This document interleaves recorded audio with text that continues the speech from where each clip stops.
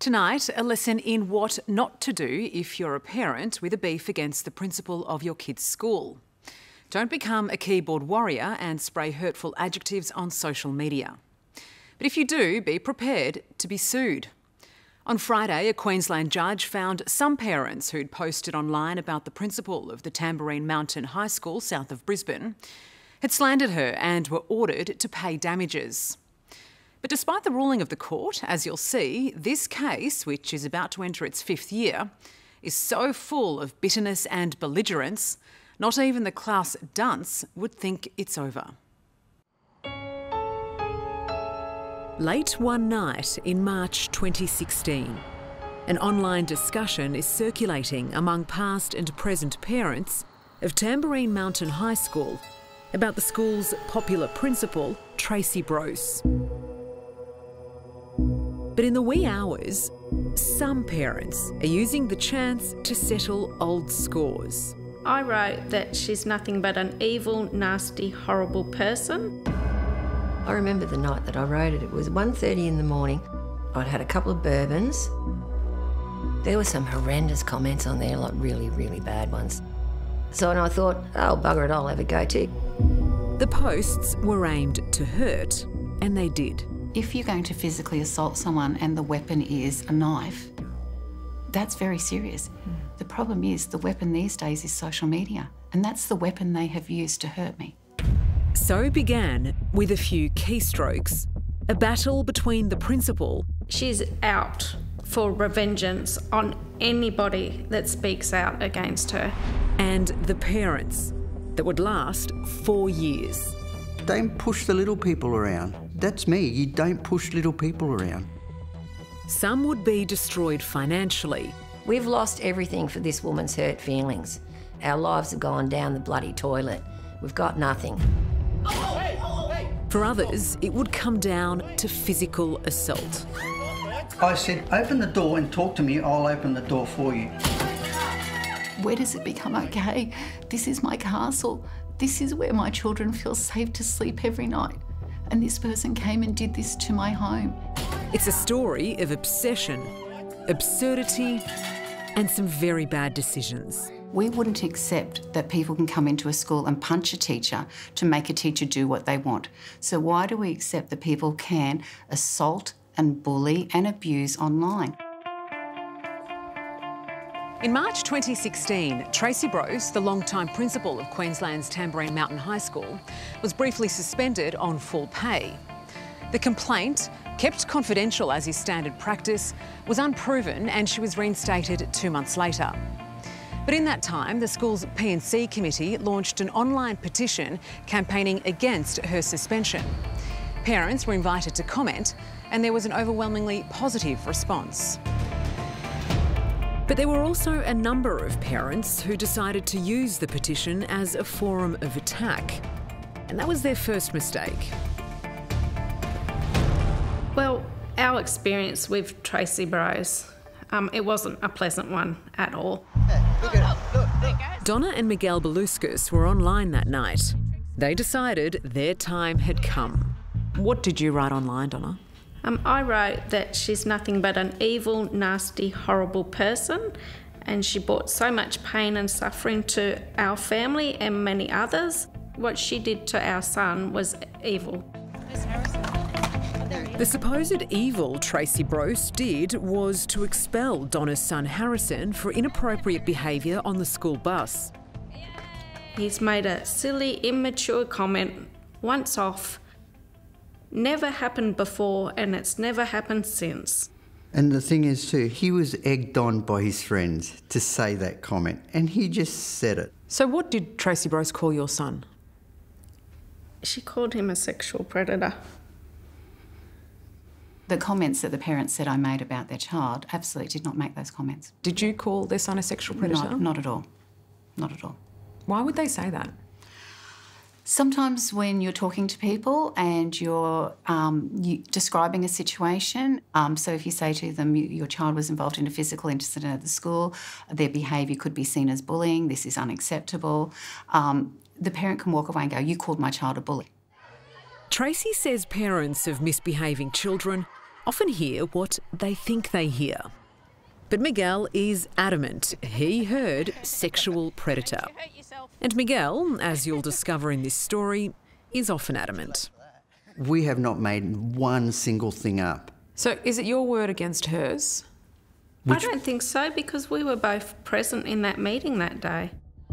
But Principal Tracey had her own witness at the meeting, her deputy principal, who was swiftly put in his place by Miguel. The deputy principal, he went to say something. I looked at him in the eyes and I said, You just shut up, stand in that corner and look out the window. I'm here to talk to the head, not the ass. What did you write? I wrote that she's a liar, a manipulator, gets off on belittling people, is responsible for every failure at the school, and is not an educator. In the early hours of that same morning, another parent, Trudie Arnold, also went online to have a crack at Tracey Brose. It was 1.30 in the morning. I'd had a couple of bourbons and I was scrolling through my news feed on Facebook and this support Tracey Brose page came through. There were some horrendous comments on there, like really, really bad ones. Someone wanted her dead. Some called her dreadful names, horrible. Um, so and I thought, oh, bugger it, I'll have a go too. Trudie always believed Tracey Brose had ignored her daughter Madison in favour of brighter students. But Madison had left the school two years before Facebook finally gave Trudie the chance to get even with the principal. If you'd read comments like that made about you, how would you feel? If I was the principal of a high school, I'd take it in my stride. Really, part and parcel of the job, isn't it? You know, you got to cop the good with the bad. She's not just the principal of a school, she's a human too. Oh, of course. And she should probably treat other people like they're humans as well, and then she might get the same respect back. If you're not happy with a decision I make or my actions, you have every right to complain to my supervisor. You have every right to have my actions and my decisions scrutinised. But you don't have a right to go online and write nasty things about me and to destroy my reputation.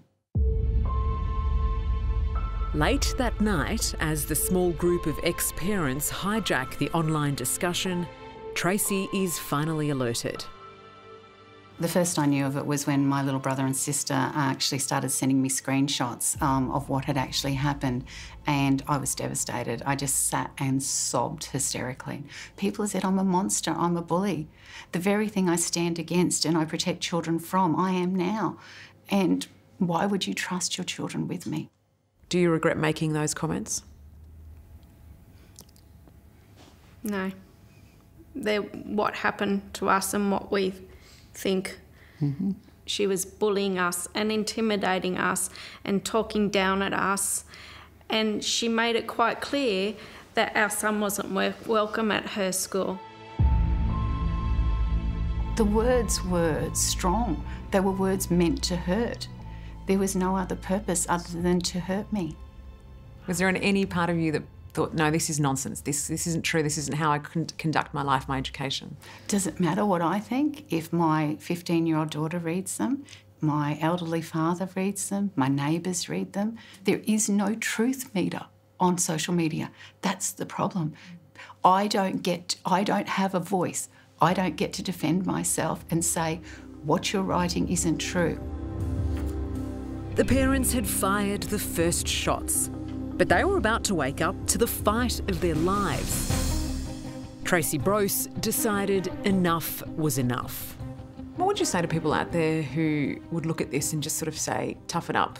Yeah. Everyone cops abuse. You're a principal. You should be immune to this kind of abuse. Toughen up. Yeah, yeah. If I just toughen up and go, yeah, it's okay, then that becomes the norm. What they did was horrendous, absolutely horrendous. Why worry about something that's not true?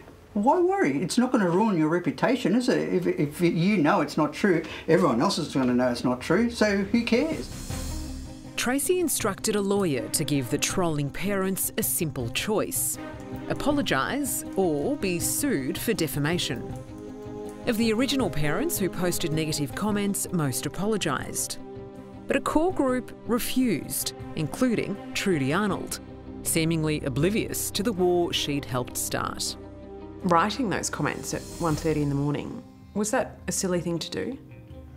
In hindsight, quite possibly. But you know, I'm an honest person. I'd probably do it again anyway. I think it's pathetic and I think it's ridiculous for a woman her age. Hurt feelings. She's a principal of a high school, for God's sake, and has been for bloody over 10 years. At that point, there is no option. What you've done is against the law, and you need to take these comments down, and you need to retract them, and you need to apologise. As for Donna and Miguel, not only was there no apology, at one point, Miguel sent Tracey's lawyer a reply that was, well, adamant. I basically told him to shove his offer up his ass. The situation was quickly spiralling out of their control. But Miguel and Donna were not about to surrender. She's out for revengeance on anybody that speaks out against her. And that's all we did. We're parents that made complaints, and now she's out to get us. She's picking the low fruit in the tree to stop anybody from saying anything. Do you think she'll win? Don't care if she wins or not. Coming up, You can't mediate with a tyrant. war wounds, I've just lost my house, my car. I have nothing left to lose. but still no retreat. Please just apologise. Let's all walk away. So the battlefield You have to lose a battle to win a war. Their whole purpose of being there was to humiliate me. moves to a court. Bring it on. That's next on 60 Minutes. This is our last three and a half years of our lives. Um, every night, every day, every weekend, this is what our lives have become the pain, stress, and suffering. Donna and Miguel Baluskas are bankrupt. A day and a They've spent so much on legal fees, their lawyer now owns their house. That was our last resort. We started to incur cost after cost after cost and borrowing more money off mum and dad all the time. All this paperwork is their attempt to represent themselves in a losing legal battle against the principal of their son's old school. Look, I've just done the best that I can do after paying lawyers to do our defences and they kept getting struck out. I said to Miguel, I can't keep borrowing money anymore. I'm going to have to try and do it myself. It's all because late one night in 2016, they let their fingers do the talking. Brought so much pain and suffering to our family. Facebook was their weapon against Principal Tracey Brose. She's not an investigator, she's not a judge. It was an online parent teacher night that spilled into a real life war. She's nothing but an evil, nasty, horrible person. This whole process over the last three and a half years actually confirms to me that she is an evil, nasty, horrible person. So you stand by those words? I do, yes. You can't mediate with a tyrant. I need to stand up and I need to say, this is not okay. You cannot treat people like this. You need to be accountable if you're going to do that online. Tracey Brose, who's been principal of Tamborine Mountain High School for nearly 20 years, is suing four parents who she says bullied her online with abusive posts and who will not say sorry. Trudie Arnold is one. Liar manipulator. What I said, I meant. I won't retract it. I won't take it back. And I don't, really don't believe that anything that any of us said made any difference to that woman whatsoever. The final parent sued by Tracey Brose is Laura Lawson, who posted that the principal had made her children's lives a nightmare. Have you apologised for what you wrote? No, Will you apologise? no. Other parents have made apologies. Yes, they have. That, that's up to them, if that's what they wanted to do. And that is fine, but those apologies came with money. After three and a half years with no apologies and no backdowns, the case of the principal versus the parents finally got to court, here on the Gold Coast in October last year. By that stage, the four parents involved were either bankrupt or pretty much financially ruined. They'd lost homes and savings and spent hundreds of thousands of dollars in legal fees. Got nothing to lose. I've just lost my house, my car. I've lost everything, all my assets. They're all gone. There's not a cent that I have for her. What else can you get from me? We've got nothing. I don't own a home. Other defendants have lost their homes. Life has gone. I don't have a life anymore. I've existed for three and a half years because of some stupid woman's hurt feelings. I've nothing left to lose. So, why not keep fighting? And so they fight on. I felt gutted. I just want to say, you know, look, please just apologise. Let's all walk away. It doesn't have to be like this. And when you watch people saying, you know, I've lost my home because of this, none of the sale of any home has come to me. They've lost their home trying to make bad decisions to defend statements they put online. For the Baluskases, Laura Lawson and Trudie Arnold, the case is no longer about winning or losing. It's about trying to convince a judge and the public following it in the tabloid media that they are the victims and Tracey Brose the bully. And I walk in there with a big smile on my face thinking, exposure time, lady. You're going to get exposed. Thank you very much. Because at the end of all this, we have not created any of this mess. Mm. She her friends, her lawyers have. I'm like, bring it on. A landmark defamation trial is underway at Southport Court. In court, it swiftly became clear that this would be a landmark case on several fronts. Taking the witness stand, the principal appearing visibly distressed. For Principal Tracey Brose and her supporters, a line in the sand by teachers against what they perceive to be bullying parents. For the parents, it was a chance to humiliate the woman they say has ruined them. It was a circus, an absolute circus. Their whole purpose of being there was to do as much damage to me as they could possibly do in the courtroom. You have to lose a battle to win a war. That's the way it's always been. They, they might think they're winning the battle or whatever, but you know what? At the end of the day, this exposure that we've done Yeah. is going to open up the can of worms that's going to win the war against Yeah. people like her. Taking on the parents has also cost Principal Tracey Brose and her husband Peter dearly. They've spent hundreds of thousands of dollars defending her reputation. Other parents originally included in her lawsuit have apologised, and some paid damages to cover her costs. And damages are certainly part of her court case against Donna, Miguel, Trudie, and Laura. We know, of course, the judge may rule in your favour but not award damages. Yeah. Where would that leave you? I have no expectation on the judge to award damages.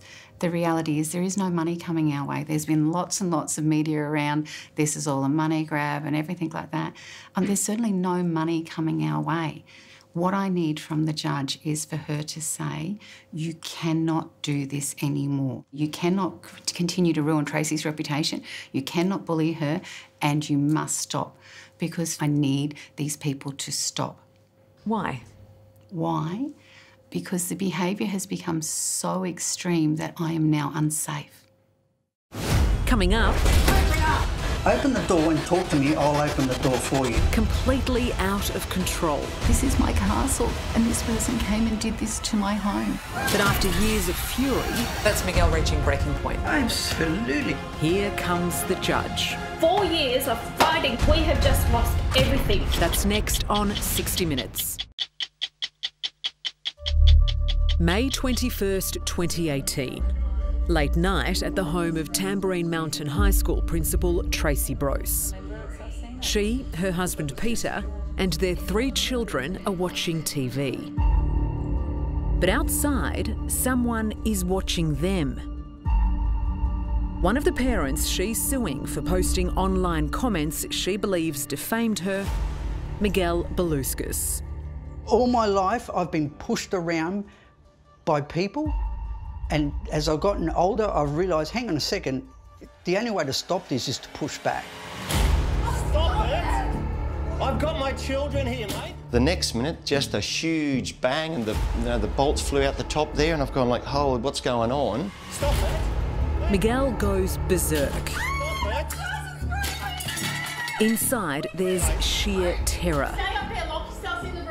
The children lock themselves in a cupboard. Once you're told many, many, many times that our young children were in here, you need to stop. Miguel's frenzied attack lasts 25 minutes.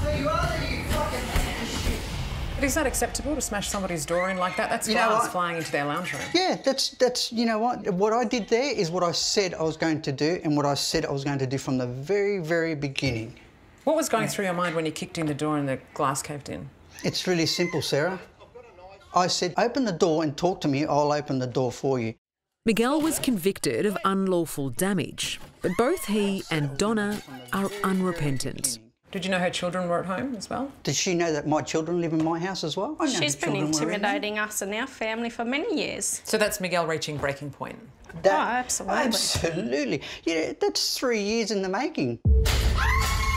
Mate, I've got a knife here. What had begun one night in 2016 as a few disgruntled parents trolling Tracey Brose online had finally turned violent. How can you justify going around to someone's house in the middle of the night, smashing the doors down, terrifying their kids, and not leaving until you're threatened with a knife?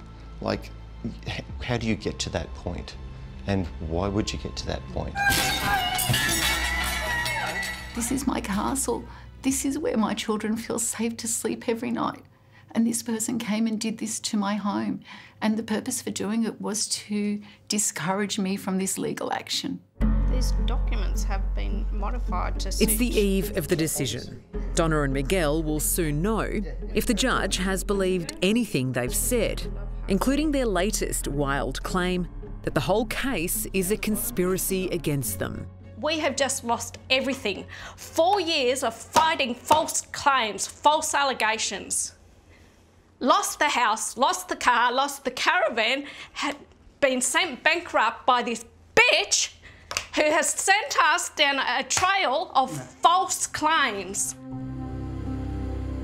Friday morning, after four long years of what has surely been the most bitter parent teacher battle in Australian history, there will be a verdict. I don't need money. I don't need damages.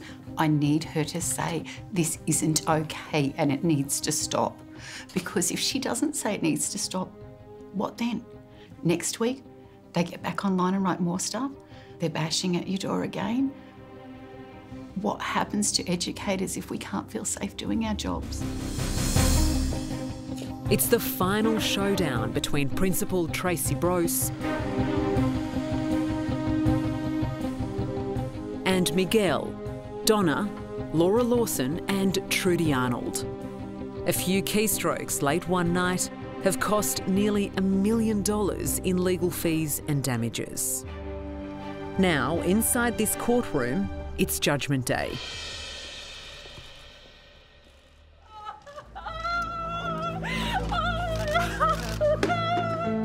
Minutes later, it's over. The defamation claims against Trudie and Laura are dismissed. But Donna and Miguel are found to have defamed Tracey. The judge rejecting their defences and gagging them from repeating some of their allegations against her. You know what? I hurt people's feelings every day. Do you see me getting sued every day? No. Till the law changes, this is going to happen The defamation every law day, must every day of the year. The judge also criticised Principal Tracey Brose, saying at times her memory was selective. But she sees the gag order against the Baluskases as her victory. When you have people come to your home and beat down your front door to try and intimidate you and to bully you, then the reality is at some point you have to say, enough's enough, you can't do that to us anymore. In terms of the pain, money, and the judge's mixed decision in this extraordinary case, perhaps there are no winners. But in the end, Tracey Brose feels vindicated as the principal who stood by her principles. I decided that I couldn't live with myself if I actually just accepted that it's okay to treat teachers that way. It's not. If the attention on this case saves one teacher going through what I have gone through, then it's all been worth it. You can't disrespect people and you can't abuse people. You need to be accountable if you're going to do that online. Hello, I'm Sarah Abo. Thanks for watching. To keep up with the latest from 60 Minutes Australia, make sure you subscribe to our channel. You can also download the 9Now app for full episodes and other exclusive 60 Minutes content.